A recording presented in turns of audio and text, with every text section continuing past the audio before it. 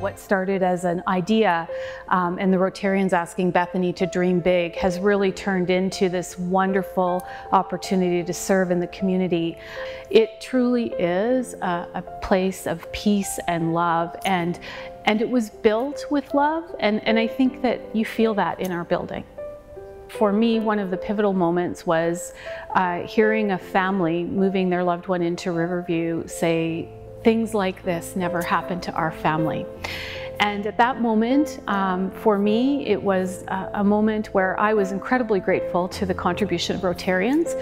Um, the atrium wouldn't have been built without them, and so every day when I walk through that atrium, I am reminded of the generosity of Rotarians across the city. It's been pretty remarkable. Mother had dementia. She, um, she was a proud woman, she was intelligent, she was incredible at everything that she did.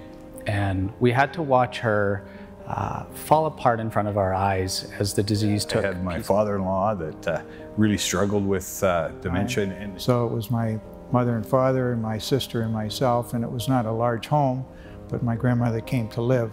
There was nowhere else for her to go, and uh, there weren't the facilities that there is today. It was just this deep sense of letting Charlie down.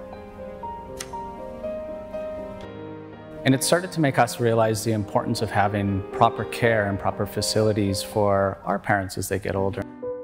The impact that Bethany's programs for Alzheimer's, uh, that's probably been the biggest impact to me personally. And the opportunity in Rotary to make a difference um, was a very motivating factor. We've been on quite a journey. So uh, my club and, and a, a, member of my club, uh, Tony Knight, was really kind of the inspiration behind this and the connection to, to Bethany. And when we walked through there, it was like walking through our dream. The atrium for my grandmother would have been a significant improvement over the quality of life that she had after she left our home. The, the facility itself, and I stress the the staff and the, the programs that they have, and there's a lot of planning that goes has gone into that building, not just in the atrium, to make life better. Well, I, th I think that it starts with service, and, and uh, the uh, Rotary's motto is service above self.